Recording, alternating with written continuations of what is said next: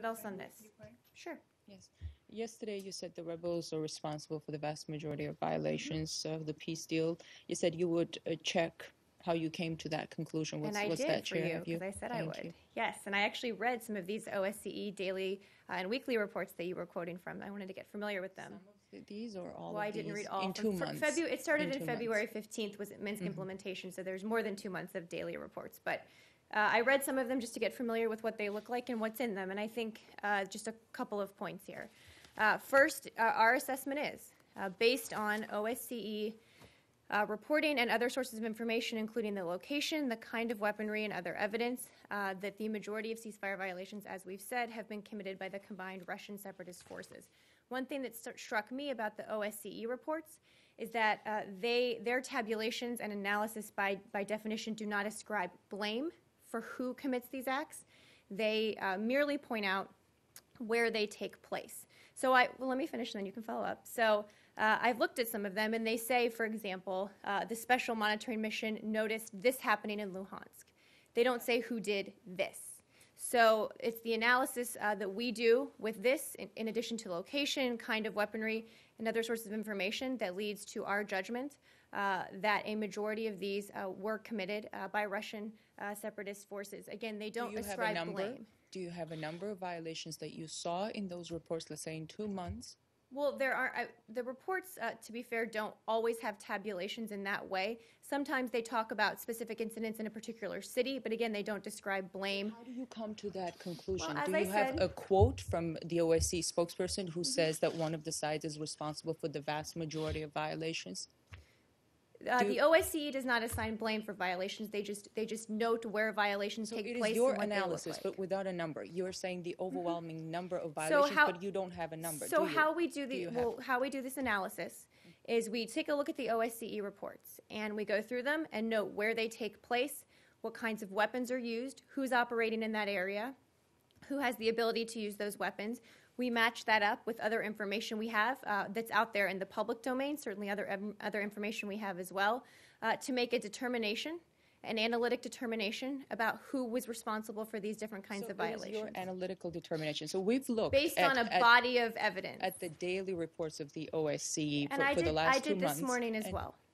Well, we counted uh, the violations uh, and in cease- ceasefire violations and weapons withdrawal violations, and the numbers are about the same. I, I, I cited them Well, yesterday, the and, and I can do that now. Are those But, your so, okay, wait? Are those your numbers? Because they're not OS, OSCE numbers. Don't assign. I understand. So you're analyzing the reports. Also, we, we can do that too. them. We can see those daily reports. So one of an example of a report, May 1st, just outside government-controlled uh, Nikolaevka, 41 kilometers south of Donetsk, the SMM, the monitoring mission, saw three what it assessed to be outgoing tank rounds fired from a lo- location approximately two kilometers to the north. An incoming round followed, impacting approximately 200 meters north of the SMM's position. So, so that is uh, an example. And it looks like one side fires and the other uh, responds. You see that in many in, in many of the reports. Wouldn't that make for uh, equal an equal number of violations on both sides? in that very limited uh, example you're noting from May 1st, but we're taking a look at the entire breadth of reporting from February 15th, when the Minsk implement when Minsk took effect,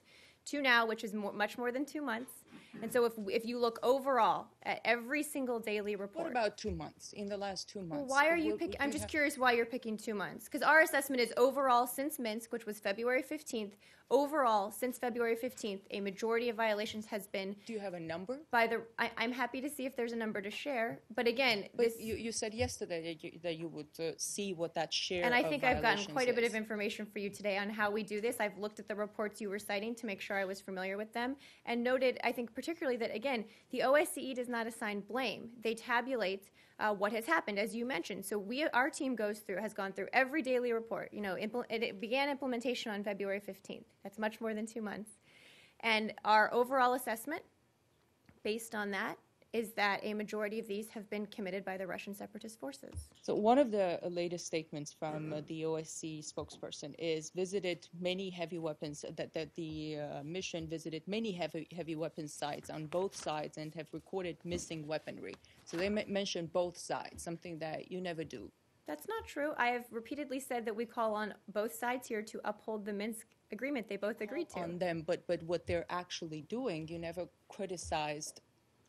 The As, side as I said yesterday, a supporting. majority of these are committed by Russian separatist forces, so by definition, that means a a minority are committed by the other side. I, I also said that yesterday as well.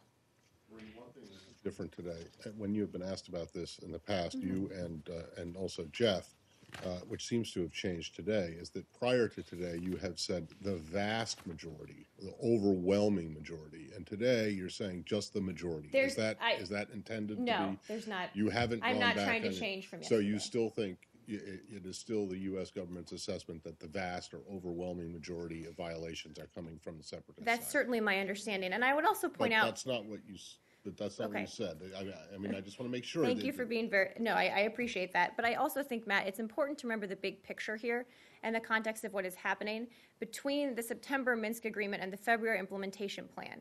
Combined Russian separatist forces seized hundreds of square kilometers of Ukrainian territory in direct contravention to the agreement they had just signed. Uh, the OSCE cannot get access to separatist controlled areas to verify the ceasefire, and I have this map up here. I'm happy to give anyone afterwards that shows the area the Russian separatist combined forces are preventing the OSCE from even getting to.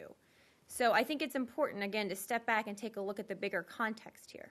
Okay, but I But just, it's I, not I, only- my, I um, my, my just want- question though is Let's just let on the- Matt ask his I- question. Well, I just want to, but the I'm not- removal of the word vast or sig- significant or substantial from in front of the word majority, does it? you I'm happy to say substantial, significant, vast, whatever, whatever word you would like. In, in providing access. So in the last two months, it's not just the rebels that are. Why are you doing- choosing two months? I'm, I'm Because curious. I read, uh, the, uh, we- read the daily reports from. from Well, there are some from before two months, though. Ju- Just, just as, as an example, to give you numbers. So 18 violations by the Ukrainian uh, forces. Well, that's not what the reports 27 say, though. By the rebels. The reports do not assign blame. So you're assigning blame based on their numbers. The reports do not assign blame. To be But- very but clear, I've read the reports as well. aren't you doing the same thing? Based on a, a whole of analysis. You're analyzing But their so daily just be very reports, clear, that's right? your we are analysis. analyzing them too. Right, They're right. in public domain. Right, but- Everyone can. But wait, let me finish. To be clear, that's your analysis of what the OSCE is reporting. The OSCE does not say X number of violations by either side. The OSCE does not say those in those reports. And if you want to see this map, this red part, wait, no, let me finish. number. This red part right here is the area that the Russian separatist forces won't let OSCE monitors in.